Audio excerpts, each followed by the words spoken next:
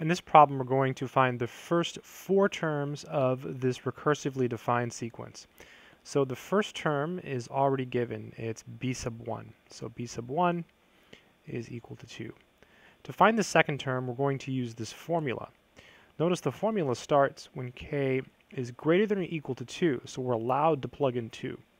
So putting a 2 where all the k's are will give us b sub 2, and that's equal to b sub and then 2 minus 1 is 1 plus, and then 2 times, and then we said k was 2, so 2.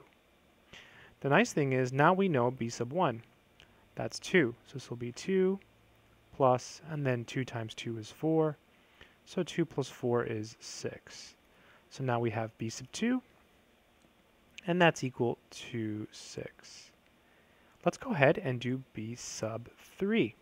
So b sub 3 is equal to, so as before, we're going to plug in 3 for all of the k's. So we'll get b sub 3 minus 1, so b sub 2, plus 2k, but k is 3, so it's 2 times 3. b sub 2 is 6, so we have 6 plus, and then 2 times 3 is 6, so 6 plus 6. So b sub 3 is equal to 12. That will give us 12. And the very last one is b sub 4. So b sub 4, same as before. We're going to replace the k with 4, so it'll be 4 minus 1, which is 3, plus 2 times 4, because k is 4. b sub 3 is 12.